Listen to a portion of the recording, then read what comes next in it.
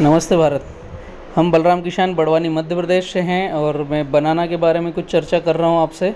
आप देख रहे हैं किसान पाठशाला। आप है हिरल भाई Patel, Rajpipla, Gujarat.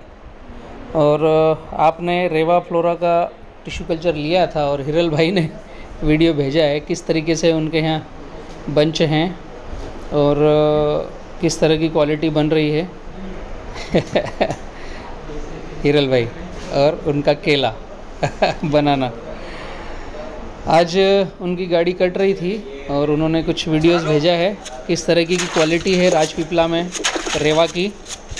Reva G nine all India में बनाना प्लांट सप्लाई करते हैं और कोई भी फार्मर बुकिंग करा सकते हैं। चौराणु दो सौ सत्तावन, अड़तीस दो सौ बाईस, ये नंबर है।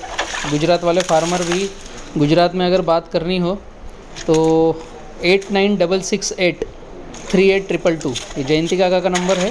गुजरात के फार्मर भी यहाँ पर बात कर सकते हैं। ये मैं बाइट बतला रहा हूँ आपको राजपिपला की।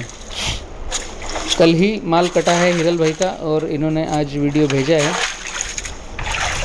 किस तरह की क्वालिटी आती है राजपिपला में? कैसे रेवा का प्लांट जा रहा है? जितने फार्मर हैं, लगभग मैं कहूँ 80 परसेंट फार्मर रिपीट बुकिंग दे रहे हैं रेवा को। और रेवा की स्ट्रेंथ ये है कि टाइम पर पौधा देना। एक सप्ताह का आगे पीछे हम बुकिंग रखते हैं और डेट वाइज बुकिंग लेते नहीं हैं।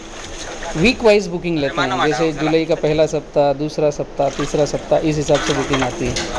और ये अभी कुछ दो तीन सालों से नया चलन है। व्यापारियों को भी मैं बतला दूँ।